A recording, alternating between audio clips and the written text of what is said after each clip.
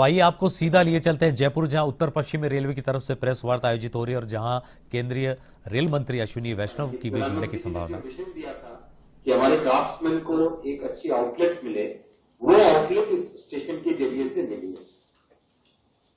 छठा पॉइंट ये था वंदे मेट्रो की बात मैंने आपसे पहले भी की है कि दो छोटे छोटे या दो मतलब कम डिस्टेंस पे जो टाउन्स होंगे, कम डिस्टेंस पे जो शहर होंगे फॉर एग्ज़ाम्पल उत्तर प्रदेश में एग्ज़ाम्पल है सीतापुर से लखनऊ सात सत्तर किलोमीटर, या फिर लखनऊ से कानपुर तो इस तरह के जो कम डिस्टेंस पे शहर है, या उड़ीसा में जैसे भुवनेश्वर से कटक है तो ये आपस में तीस बत्तीस किलोमीटर, पैंतीस किलोमीटर का रास्ता है। ऐसे में वंदे मेट्रो का कॉन्सेप्ट बहुत ही अच्छा एक कॉन्सेप्ट आएगा, जिसमें सिटीजन्स के लिए एक अच्छी फैसिलिटी क्रिएट हो जाएगी, जो कि कम कॉस्ट में सुगम तरीके से और एक कंफर्टेबल फैसिलिटी और लास्ट पॉइंट था हाइड्रोजन ट्रेन का अच्छी प्रोग्रेस है। आपके साथ में वैसे भी चर्चा कर चुका हूँ।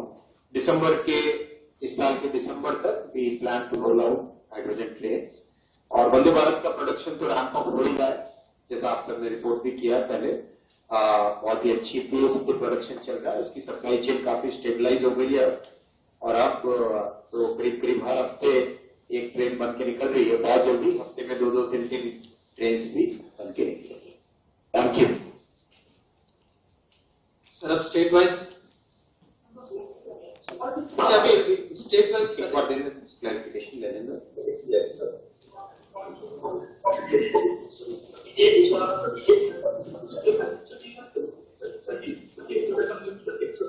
Ten thousand four thirty eight एक हज़ार बनेंगे। हाँ वन थाउज़ेंड बनेगी इस साल में भी बन रहे हैं F Y twenty two twenty three में भी वन थाउज़ेंड और F twenty three twenty four में भी वन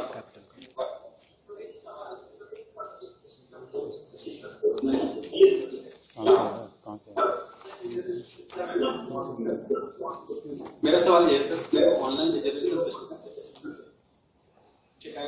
रहती है कि जब की साइट पर जाते हैं जैसे तत्काल टिकट या तो कॉमन आदमी को मिल पाता कहीं ना कहीं से जो है टाउट हैं वो सैन लगा देते हैं। तो इसको लेकर कोई मैकेनिज्म पर बढ़ रहे हैं आप लोग? इस पे भी काफ़ी एक काफ़ी अच्छी रिसर्च हुई है। अ, कई ऐसे मैकेनिज्म्स थे जिससे कि ऑटोमेटिक फॉर्म फिलिंग कर लेते थे लोग और बिना वो जो उसके ऊपर कैप्चा होता था उस कैप्चा को भी मशीन रीडिंग कर लेते थे। उन सारी चीज़ों पे रिसर्च हुई है जब ये नए प्रोजेक्ट को इम्प्लीमेंट करेंगे उसमें बहुत सारे सेफ़ गार्ड उसके डालेंगे बहुत सारे सेफ़ गार्ड्स है टेक्नोलॉजिकल सेफ़ गार्ड्स है।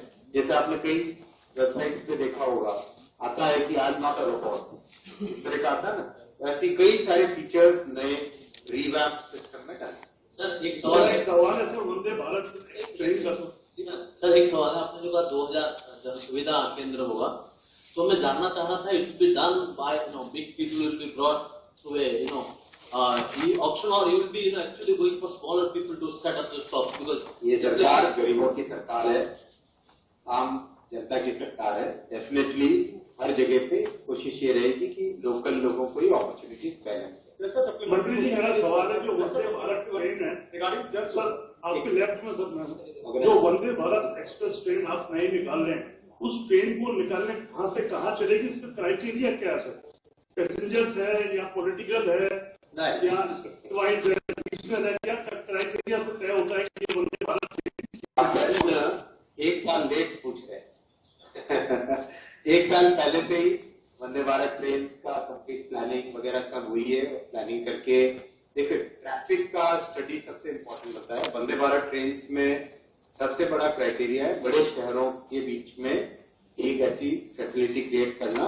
दो बड़े नोड्स के बीच में बड़ी फैसिलिटी क्रिएट करना।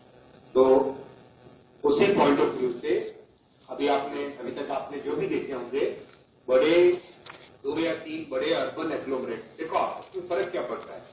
उसमें इकोनॉमिक्स क्या है और किस तरह से उसका इम्पैक्ट पड़ता है वो देखो। मान लो जैसे सिकंदराबाद से वाइजैक वाया विजयवाड़ा तो अगर ये डिस्टेंस कुछ ही घंटों में पूरी होती है तो ये तीन के तीन शहर एक तरीके से एक सिंगल इकोनॉमिक जोन बन जाते ये तीन के तीन बड़े शहर जो कि अलग थे, वो तीनों सिंगल इकोनॉमिक जोन बन जाते इसका सिग्निफिकेंट इम्पैक्ट अगर आप देखोगे, जैसे जापान में जब बुलेट ट्रेन चली तो टोक्यो और उसका बीच चार बड़े बड़े जो शहर थे चार के साथ शहर प्रैक्टिकली